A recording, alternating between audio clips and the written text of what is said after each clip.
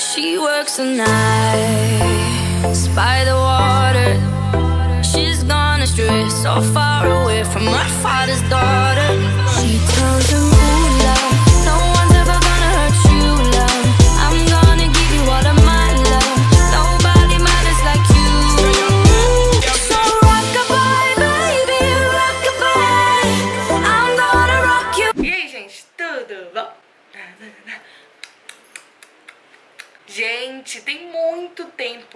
Muito, tipo, desde o ano passado que eu tô querendo me organizar e perder a preguiça de fazer um tutorial ensinando pra vocês é, os mistérios de um olho preto esfumado. Então, eu deixei esse vídeo bem explicadinho, é, passo a passo de como eu faço pra construir um olho preto e eu espero muito, muito que vocês gostem, espero que vocês curtam, porque eu tenho preguiça de fazer olho preto, essa é a verdade.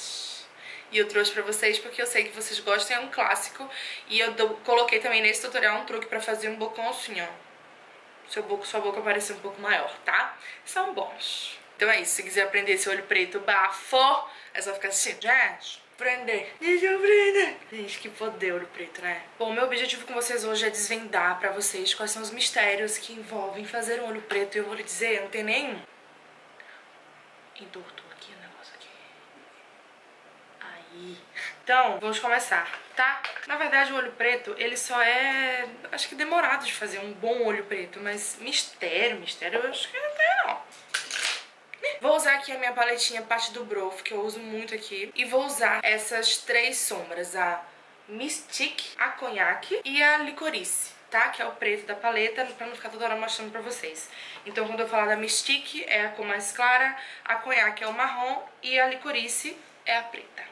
Tá bom? Tá bom. Vamos fazer o seguinte agora. Vou fazer, como eu já estou com a pele pronta, é, eu vou fazer uma cama de, de pó aqui embaixo, tá? Pra que eu não perca essa pele no decorrer aí da maquiagem quando tiver caindo as cores. Então vamos começar com as etapas todas desse negócio. Vou começar com a Mystique e vou fazer o meu côncavo, tá? Lembre-se, esse vídeo vai ficar longo, tá? Olha só, esse vídeo vai ficar longo, já estou avisando, porque eu vou deixar ele bem explicadinho, tá? Onde a gente mais quer aprofundar é no côncavo. Então é muito importante que o primeiro contato do pincel com o seu olho seja no lugar que você quer uma maior quantidade de, de produto, porque não adianta você soprar prime o primeiro toque do pincel é sempre o lugar que vai depositar mais. Então, nunca comece o esfumado côncavo pelo início, porque vai fazer uma bola aqui, nem pelo final. Eu sempre, eu gosto dele nessa dobrinha um pouco mais escura, então é por aí que eu começo. Então, ó, meio, né, uma diagonalzinha aqui, e aí eu vou fazendo o meu côncavo. Vou esfumar isso aqui bastante até ficar só uma poeira e vou deixar ele assim. Agora eu vou pegar o conhaque, que é o marrom, dei só uma carimbadinha, porque eu sei que ele é- essa paleta é muito pigmentada, então eu vou vir com ele com muito medo, entendeu? Então eu vou vir aqui com ele. Novamente o ponto de partida é esse início. E aí eu começo o esfumado de novo, agora sem subir tanto. Depois que eu ver que já não tem mais produto quase nenhum no pincel, eu vou começando a fazer um esfumado como se estivesse em formato de triângulo, entendeu? Com a sujeira do pincel, eu faço essa diagonal, trago essa sujeira que você praticamente vai fingir achar que não tá acontecendo nada, mas no final da maquiagem fica muito bonito esse detalhe, que é como se a, a sombra estivesse sumindo, entendeu? Então eu faço essa diagonal, essa ponta de triângulo, na verdade, né? Puxando pra fora, entrando com ela. E aí fica esse efeito, tá vendo? Sumindo. Gosto muito. Feito isso, o que a gente vai fazer agora? Você vai pegar um delineador em gel e eu tô falando sobre olhos. Olhos. Olhos é ótimo, né? Olhos pretos. Pretos, pretos, minha irmã. Preto, entendeu? Porque a maioria das vezes, das pessoas que eu conheço, ah, eu quero um olho preto. Tá acostumado com aquele olho preto de salão, que a pessoa bota um chumbo, um cinza, esfuma e fica quase sumido e acha que aquele é olho preto. E quando a gente vem com um olho desse, a pessoa se assusta, entendeu? Porque isso, minha irmã, é preto. Não existe preto fraco, preto médio, preto é preto. Então vamos tacar o preto, a coisa mais preta que você vai ter na sua vida é um delineador em gel. Não é mesmo?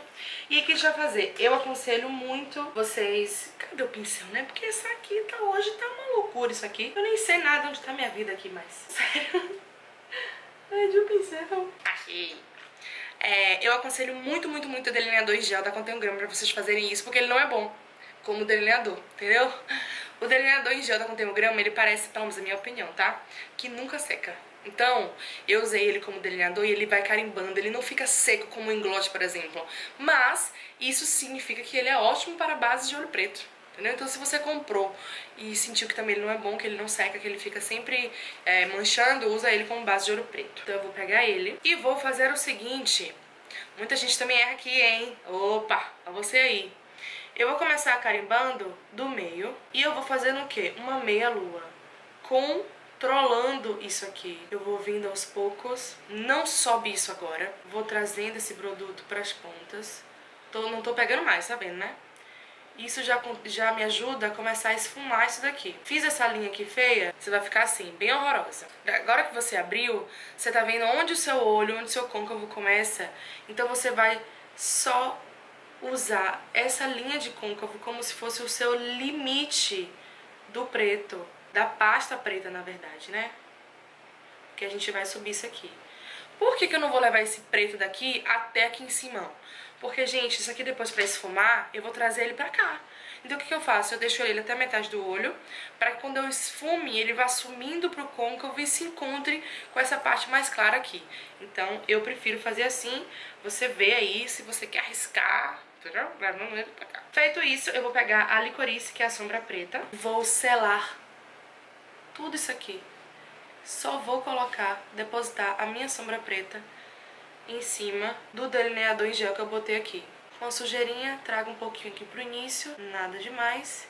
Com a sombra preta, eu posso começar a subir esta linha. E eu tô dando batidinha porque eu acho que facilita o esfumado. E a gente já tem o olho um pouco mais alto, tá bom? Pronto, feito isso, vou pegar aqui um pincel. Vou fazer o que agora, Brasil? Vou dar duas batidas no preto e uma no marrom, tá? Fiz uma mistureba Vou tirar um pouco do excesso e vamos começar aqui a esfumar esta linha. Por isso que eu falei que não pode ser tão alto, porque a gente vai esfumar, a gente vai começar a trazer esse preto agora, pro, encontro desse côncavo que já estava pronto. Então, vim com a sombra, coloquei ela aqui, já, já dando uma esfumada, tá? Pronto, deixa esse troço aí, volta pro pincel do marrom. Marrom não, Vou voltar pro, pro pincel do Mystic, tá? Daquela sombrinha mais clara e vou aqui por cima, como se eu estivesse querendo apagar o que eu fiz.